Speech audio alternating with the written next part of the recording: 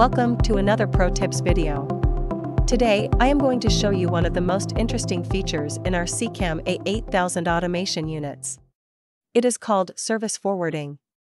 Normally, our units are mounted in electrical substations or in industrial stations where they integrate various equipment through IP protocols such as IEC 61850 or Modbus TCP. Likewise, it is normal that our units are connected to higher level systems through communication channels, so that from there they can have supervision and control of the substation. The common practice is also that locally from the substation you can do management of all the IEDs of the substation with the DIGSI 5 software, connected to the local network.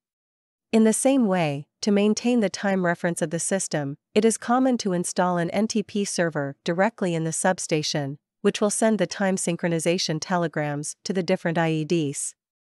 However, nowadays there is the need to manage the protection relays directly from the control center, since this avoids the need for long trips to remote sites and improve the reaction time in case of having to intervene the equipment, thus improving the service indicators. Likewise, it can also be beneficial in this type of installation if the time synchronization source comes directly from NTP servers located in the control center. This can save the cost of installing a local time server at the substation. However, the problem is that for cybersecurity reasons, there is usually no direct communication between the IEDs in the substation and these higher levels. Direct contact with the IEDs could be established, but that would imply making it necessary to establish an additional communication channel, which must in turn be protected by a firewall router, which involves additional costs. The need to establish this additional communication channel can be easily avoided, and without additional costs, thanks to the functionality service forwarding. This functionality is present in all of our Linux-based SICAM A8000 units, such as the CP8050 and CP8031, and is also quite easy to configure. With this functionality you can route the messages coming to this interface so that they are transferred to this interface, thus avoiding the need to install additional connections between the local network and the control center. Here I am going to show you with a practical example how you can use and implement this wonderful functionality. In this example, we have several SIPROTEC 5 protection relays, connected via IEC 61850 with our SICAM A8000 unit through a network port with IP address 172.16.2.1, which in the configuration of our SICAM A8000 we are going to call LAN 1 port. The IP address of the SICAM A8000 in this network is 172.16.2.1. Since we want the routing of configuration messages from the control center to be done through the SICAM A8000, we must define as gateway in the configuration of the SIPROTEC 5 relays the address of the CP8050 in this network, that is, the IP address of LAN1.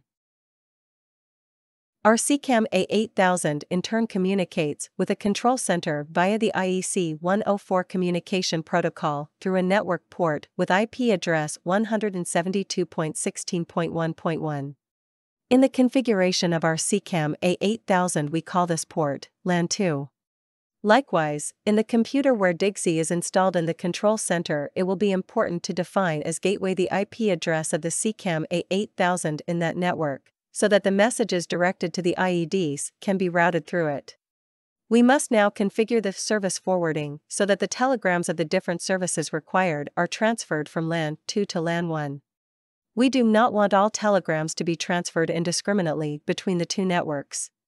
We must know specifically what are the characteristics of the services we are interested in.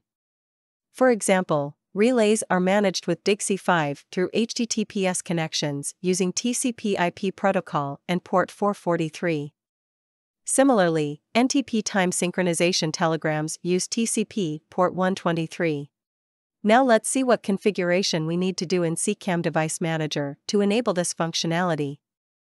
We will save this information below so that it will be easier to remember when we have to put these parameters in the configuration. Service forwarding configuration is done in SICAM Device Manager in the firewall box of the SICAM A8000 configuration. There we will find at the bottom the menu to define the service forwarding rules. I must add a line for service forwarding the DIGSI 5 connection to the SIPROTEC relays. And a line for transferring the time synchronization messages from the NTP servers in the control center to the SIPROTEC relays. Now, for the first line you define from which interface the messages will be received, and to which interface they will be routed. They will come from the LAN 2, and will be routed to the LAN 1. And now I must define what type of messages will be transferred. We know that they are TCP messages corresponding to port 443. I easily defined that in the configuration. Now I do the same with the second line. The time synchronization messages will arrive on LAN 2 and will be redirected to LAN 1. The NTP messages correspond to TCP messages, port 123. And just like that we have configured this functionality in the SICAM A8000. As you can see, it is quite simple to configure this functionality. With this, I believe that you will have no problem implementing this functionality in your projects with SICAM A8000. This functionality can be used not only with these protocols, but in general it can be used to route any service that uses TCP or UDP protocol with a defined port. Likewise, the ICMP, Internet Control Message Protocol service, can also be implemented via service forwarding, so that you can ping the IEDs of the substation from the control center, even though the relays are in a different network. I hope you can continue to enjoy all the power of our SICAM A8000. Coming soon with more tips and ideas for you. Thank you for watching.